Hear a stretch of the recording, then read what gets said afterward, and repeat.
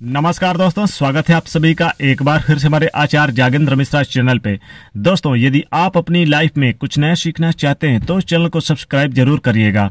सबसे बड़ा पाप क्या है? अनजाने में ये पाँच पाप करने वाले जीवन भर दरिद्र ही रहते हैं। दोस्तों, हमारे धर्म में कुल अठारह पुराण हैं। इनमें शिव पुराण एक ऐसा पुराण है जिसमें मनुष्य जीवन को सुखमय बनाने के लिए कई सारे मंत्र बताए गए हैं। शिव पुराण में माता पार्वती और भगवान शिव के संवाद का सार भी बताया गया है।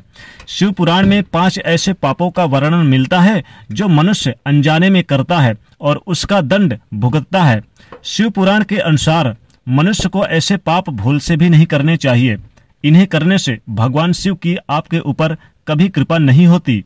और यही वजह है कि लोग अनजाने में ऐसे पाप कर जाते हैं। और शिव जी की कृपा से वंचित रह जाते हैं। दोस्तों, कलयुग में धर्म का केवल एक चतुर्थांशी शेष बचा है, इसलिए मनुष्य पाप कर्म करता रहता है। लेकिन अगर आप भगवान पर आस्था रखकर धर्म के पथ पर पूरी निष्ठा के साथ चलते हैं तो निराकार ईश्वर को आप जल्दी पा सकते हैं। इसलिए आपको पाप रहित मनुष्य बनना होगा। पाप रहित मनुष्य बनना बड़ा ही सरल काम है, लेकिन अगर आप इस पर ध्यान दें तो आपसे अनजाने में भी कोई पाप नहीं होगा और ईश्वर की सहज कृपा आपको प्राप्त हो सकती है। आप अनेक पुण्य कर्म करते हैं, लेकिन फिर भी आपको उसका उचित फल प्राप्त नहीं होता, क्योंकि आप में अनजाने में कई सारे ऐसे पाप हो जाते हैं आपसे, जो उन पुण्य कर्मों का संतुलन बिगाड़ देते हैं। इसलिए आपको इन पापों के बारे में अवश्य जान लेना चाहिए। आज की इस वीडियो में, आज हम आपको इन्हीं पाँच पापों के बारे में बताएँगे, जिन्हें आपको नहीं करना चाहिए।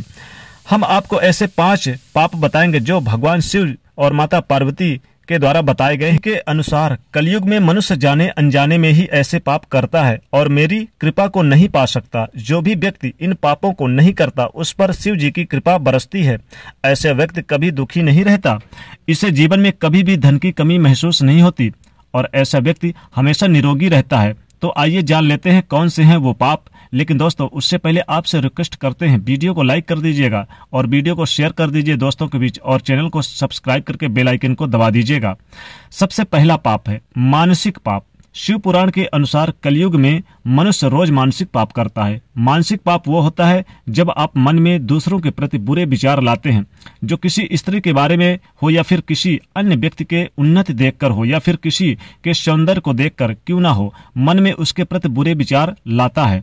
अथवा किसी दूसरों का अहित हो, ऐसे मन ही मन में कामना करता है या फिर ईश्वर से प्रार्थना करता है कि किसी के साथ बहुत बुरा हो जाए तो ये एक बहुत बड़ा पाप है। किसी भी मनुष्य के मन में भगवान का विश्वास होता है। अतः आप मन में बुरे विचार लाते हैं तो ये उस भगवान का अपमान माना जाता है। दूसरा पाप, वाचिक पाप। शिव पुराण के अनुसार मुख में दूसरों को बुरा कहना या किसी के दुख, किसी को दुख पहुँचाने के लिए गलत भाषण का इस्तेमाल करना बड़ा पाप होता है। इसे वाचिक पाप लगता है। मनुष्य के सदैव मुख से सत्य भाषण बोलने चाहिए, सत्य भाषण निकलना चाहिए और मीठी वाणी का प्रयोग करना चाहिए। जो लोग आपके मुख से झूठ बोलते हैं जो लोग आपके सामने झूठ बोलते हैं तथा कठोर शब्दों का किसी के साथ आप अपमान करते हैं तो पाप माना जाता है। ऐसे लोग जीवन में हमेशा सदैव जीवन भर गरीब ही रहते हैं। तीसरा, शारीरिक पाप। शिव पुराण में प्रकृति को ईश्वरीय रूप माना गया है, अतः अकारण ही प्रकृति को नुकसान पहुंचाना पाप माना जाता है। पेड़ पौधों को काटना, पशुओं की हत्या करना, ये सब शारीरिक पाप की श्रेणी में आते हैं। इसके अलावा पैरों के नीचे छोटे छोटे जीव जंतुओं को कुचल देना, ये सारे पाप माना गया है। एक महात्मा पुरुष अपने कदम भी रखता है तो धरती माता से क्षमा माँगता है। उसके आचरण से किसी भी प्राणी को कोई कष्ट नहीं होता। चौथा पाप है निंदा करना। शिव पुराण के अनुसार कलयुग के सबसे भयंकर पापों में से एक है निंदा करना। मनुष्य को भूल से भी किसी की निंदा नहीं करनी चाहिए। निंदा करने से पूर्व एक बार अवश्य सोच लेना चाहिए कि सामने वाला व्यक्ति निंदा के पात्र है या नहीं, बड़े बुज़ुर्ग, गुरु एवं माता पिता की निंदा करना सबसे बड़ा पाप माना गया है। अतः भूल से भी किसी की निंदा ना करें। पांचवा पाप, गलत लोगों के संपर्क में आना। जी हाँ दोस्तों, शिव जी के अनुसार चोरी करना, हत्या करने, करना, ये सारी चीज़ें पाप है। साथ ही इन लोगों के संपर्क में आना, इन लोगों को शरण देना अथवा इनके किसी कार्य में सहायता करना, ये सब पाप है। अतः एक यानी कि सभ्य मनुष्य को इन लोगों से संपर्क बिल्कुल नहीं करना चाहिए, इनके संपर्क में आने से बचना चाहिए। तो दोस्तों, ये तो थी वो पाँच पाप जो कि मनुष्य को जाने अनजाने में हो जाते हैं और अगर आप जान लेते हैं तो बिल्कुल ना करें इन पापों को। इसलिए इसे पाप होने से आपको लिए बस यानी कि बचना भी चाहिए इन पापों को करने से। तो दोस्तों, आज की इस वीडियो में बस इतना ही।